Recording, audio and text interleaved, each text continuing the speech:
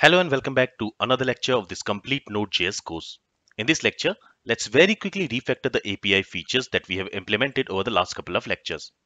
Now, we are going to do it not just to make the code a little bit cleaner, but it will also make the code more modular and more reusable in the future. Currently, if you see this get all movies API, inside this API, we are writing some logics for filtering the data, for sorting the data, for limiting fields, and also for the pagination. And currently, these features are only available for movies model. Now, if we want to use the same features for other resources, then we will have to write the same code again. And that would not be very practical. For example, currently this pagination, limiting fields, sorting, and filtering, currently we can only do it on the movies model because we are writing logic so that these features can only be applied on this movies model, right? In the future, let's say if we also have the users model and there also we want to implement the sorting feature or the filtering feature, we will have to write the code again. We will have to write the same logic on the users model, right? So here what we are going to do is we are going to create a separate class for all these features and then any resource can use these features by simply instantiating the class.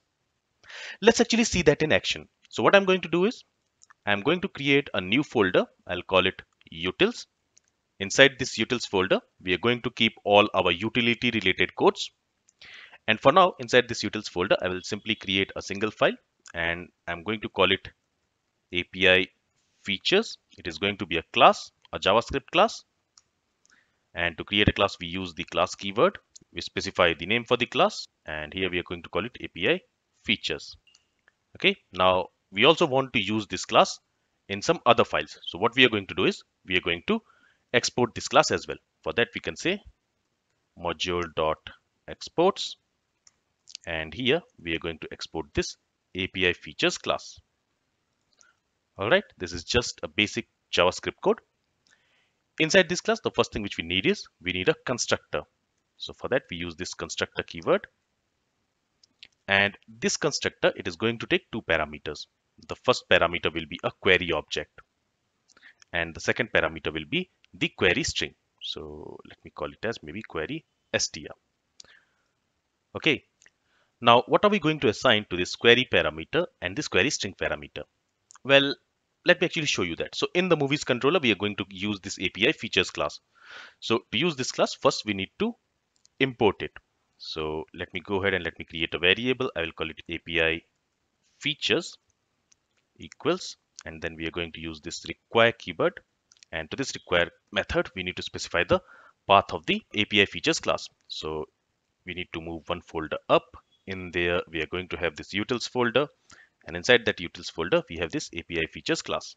Okay, so here we are importing the API features class.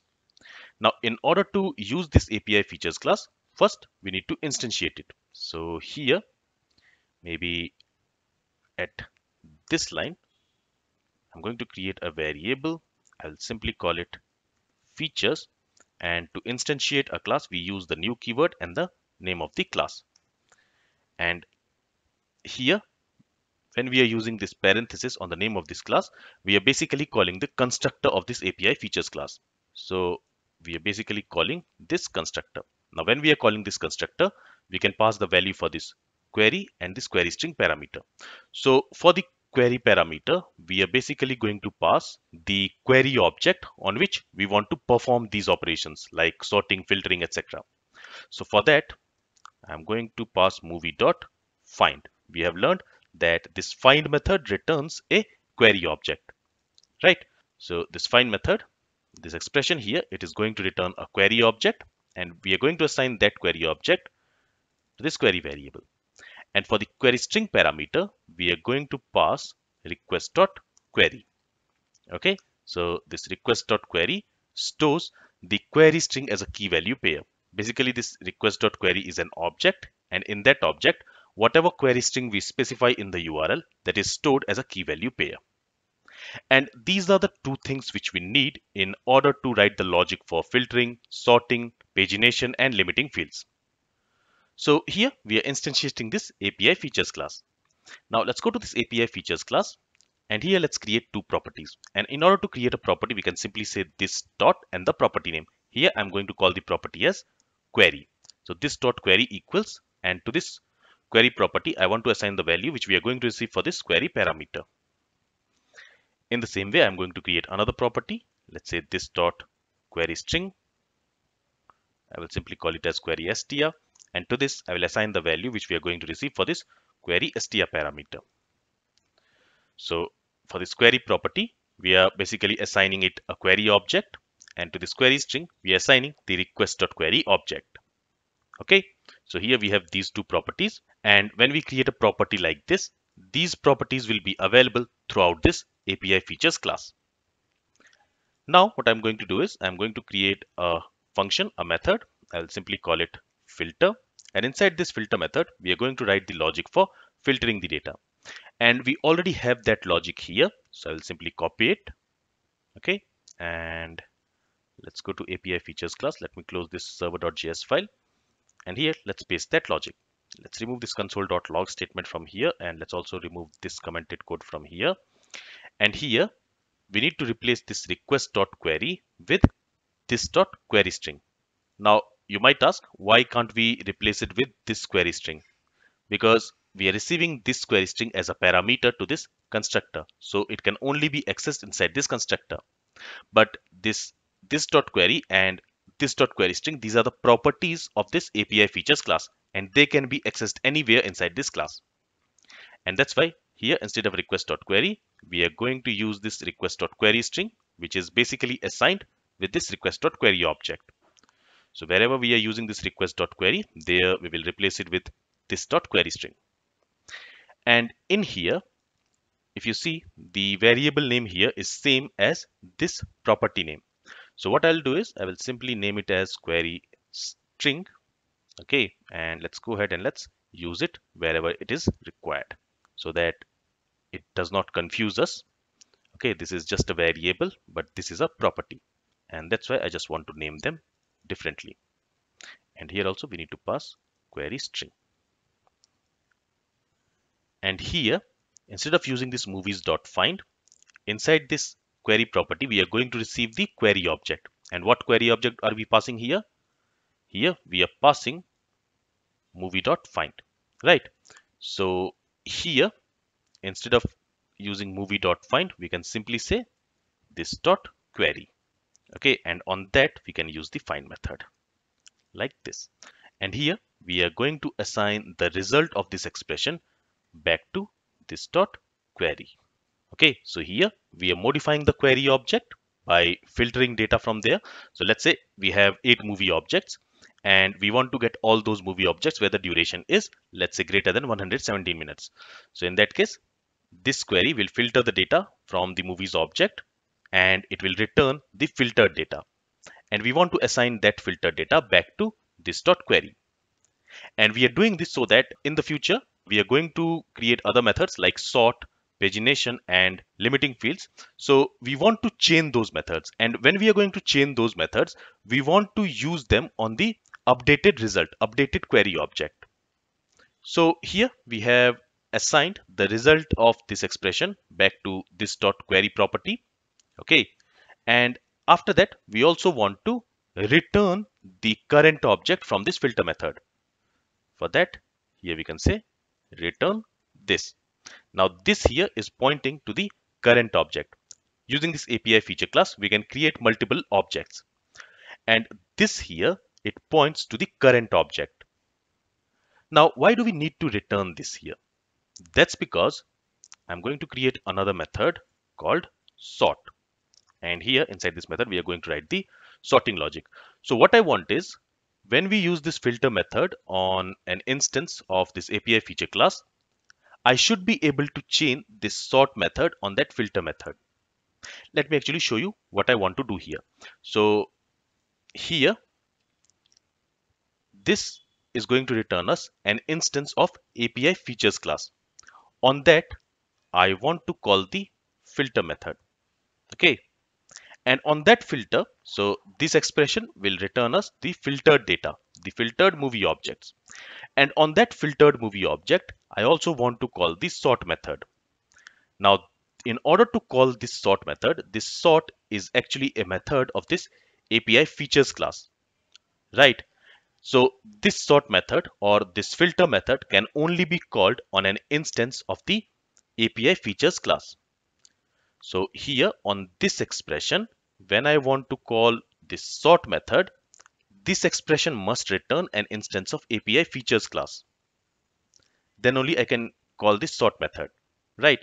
So because of that, from this filter method, we are returning an instance of API features class so that we can chain this sort method like we are doing here because this sort method can be called only on an instance of API features class because this sort method is defined inside this API features class. I hope it is clear. So inside this sort method, let's go ahead and let's write the sorting logic. So here we have the sorting logic. I will copy this and I will also comment it. Let's also comment this above line here. Okay. And let's go ahead and let's write the sorting logic inside this sort method. All right. And again, we need to replace this request dot query with this dot query string here also it should be replaced with this dot query string. And we need to replace this query with this dot query. Okay, let me copy this and let me replace it here, here and here. And finally, let's also go ahead and let's return the current instance from this sort method. So basically return this. Again, why we are returning this? Because we want to create another method or let's say here I have used the sort method first and then I want to filter. Okay, so I can use this filter method only on an instance of API features class. So in this case, this sort method must return an instance of API features class so that we can access this filter method on that instance. Okay,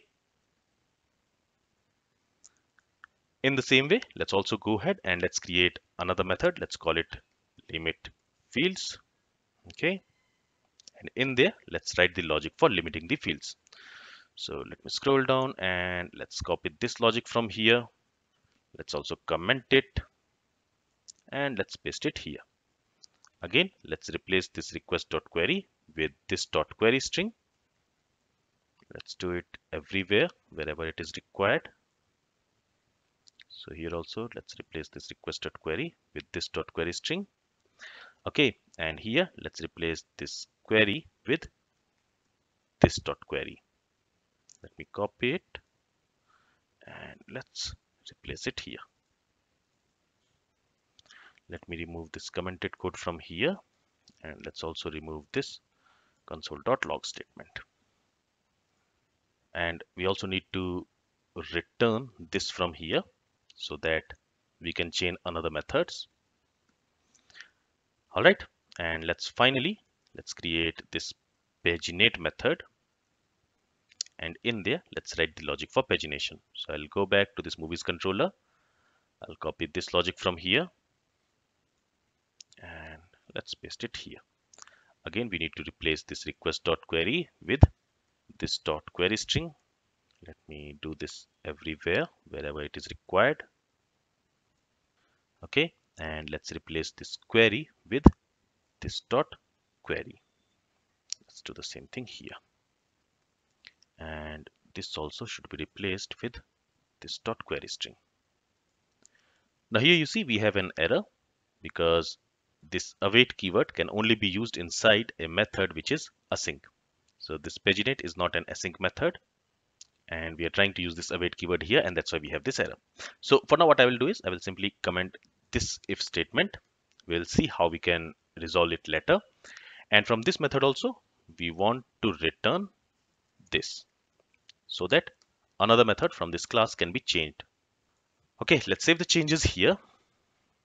You see we have this error. Some error has occurred. So basically for some reason it is not able to connect to the database. Let me save it again all right now the db connection is successful. Let's go to this movies controller.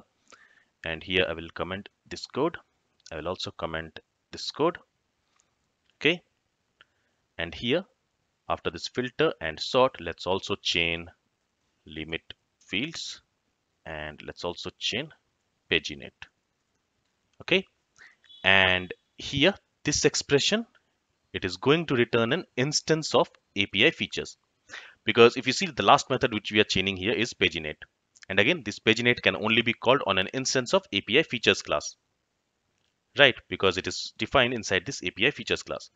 And this method also here, it is returning an instance of API features. So this expression here, it is going to return an instance of API features class, which is assigned to this features variable. Now, on this features variable, basically which is an instance of this API features class, on this instance, we have a property called query. And this query property is going to store a query object, right? So we are going to await for that query object to return a result and we are going to assign that result to a variable called movies. Okay, and then we are passing that movies, whatever result we are getting inside this movies variable in the response here. As you can see. So let me go ahead and let me save the changes in this file as well. And let's test this implementation. So let me go to the Postman here. Let's first test if this endpoint is working or not. So if I click on the send button, this endpoint is working as expected. As you can see, the length is 5. So we are going to get all the five movies which is highest rated. And if I remove this and if I simply make a request to this endpoint, here we should get all the movies. As you can see, the length is 8.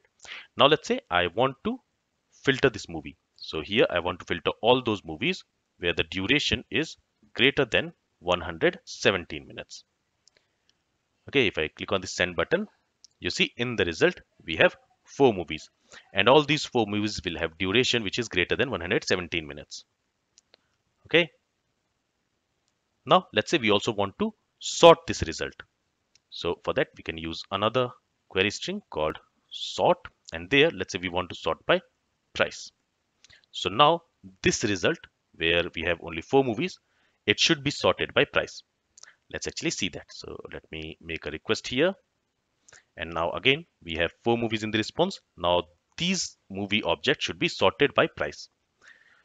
So as you can see here the price is 50 57 57 and 59 so the result is now sorted in ascending order by price. Then let's say we also want to limit the fields. So here i will use this fields query string and there i will specify the fields which we want in the result. So i want name duration, and price. And now in the result for the movies object, we should have only those fields. Okay. And finally, let's also say we want to have pagination. So I will add a page query string where I will say I want to go to page one and I want to limit the number of objects, the number of documents to three per page. So when I click on the send button, now we should see only three documents in the result.